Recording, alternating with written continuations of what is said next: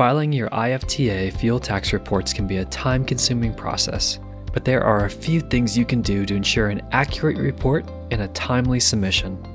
We've got a couple tips that can help you get ready for an IFTA filing and make reporting a breeze. Number 1. File on time. Submitting your IFTA reports late or forgetting entirely can result to fines from $50 or 10% of your net tax liability, depending on which amount is greater. Those fines can really add up over time and impact your bottom line, as well as put you at risk for an audit. Stay prepared for your IFTA filing by setting a reminder for each deadline in advance at the start of each fiscal year. Be sure to submit every quarter, even if your fleet only operates seasonally. Also, be proactive and give yourself time to file.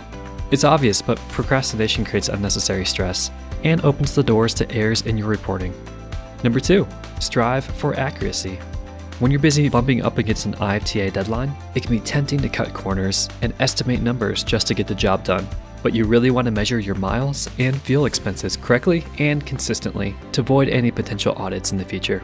Make sure you have the means for accurately measuring miles per gallon, mileage, and fuel expenditure.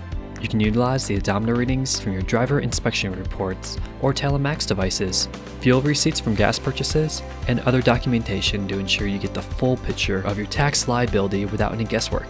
Now, always double check and triple check those numbers before submitting, whether you enter the data manually or using software to compile a report. And if something looks a little funky in your data, be sure to report odometer or GPS issues to explain any big discrepancies in your numbers from quarter to quarter. Number 3. Record everything. One of the best ways to maintain accuracy is to routinely check your metrics each quarter so you're not scrambling at deadline to pull figures together.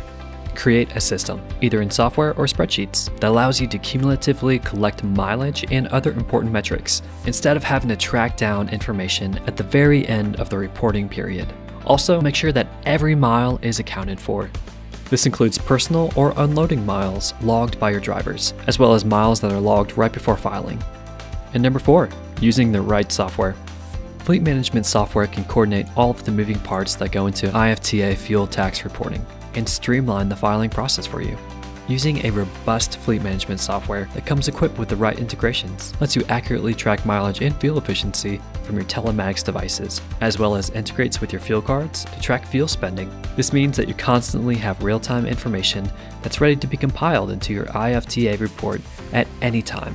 But if you use a software that's not 100%, sure that it's IFTA compliant, but the accuracy of this report could be compromised be sure to check that approved calculation methods are being used in whatever platform you choose. And if you're looking for a software-based solution that simplifies your tax time, Fleetio offers IFTA compliant reporting that easily integrates your fuel entry data by location and integrates with a variety of telematics and fuel card providers so that you get accurate, real-time data that you can rely on. Visit fleetio.com/register to start your free trial today.